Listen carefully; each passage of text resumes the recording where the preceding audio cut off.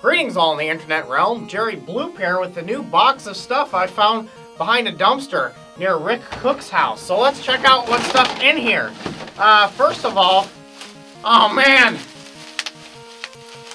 Oh yeah, the game. Um, let's see. I got Yo Noid, which is probably Spanish. Uh, Indy Heat. Uh, sounds like a sports game. Uh, Nigel Mansell's World Championship Racing. Uh, two controllers connected together. That's pretty cool. Uh, Beetlejuice in a weird box. Uh, there you go. Uh, Game Boy Color that you can see through. That means it's probably broken. Um, Archon. Uh, sounds like an anime. Uh, Air Fortress. It has somebody's name on this one. Lisbon Starlight? Well, Lisbon Starlight, if you're watching this video, I have your Air Fortress. Sorry. Controller.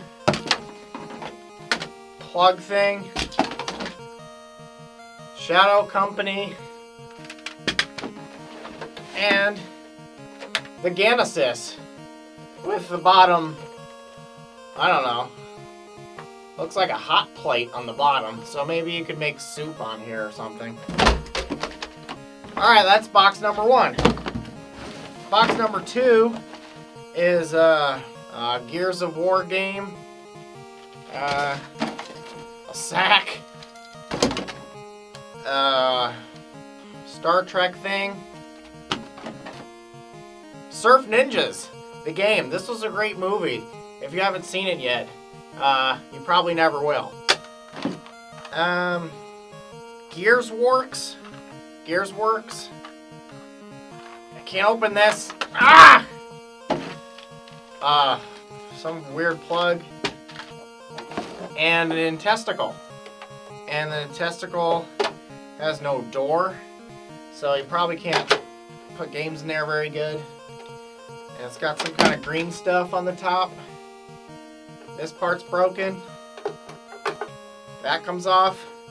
Otherwise, perfectly good. Alright, well that's it. Uh, so this is the stuff I got behind a dumpster at Rick Cook's house. So I'd like to thank his dumpster. And um, if anybody else can point me in the direction of a dumpster with more crap, uh, that would be great. Alright, um, I'm going to go play these games. So, um, uh, have fun. See you later.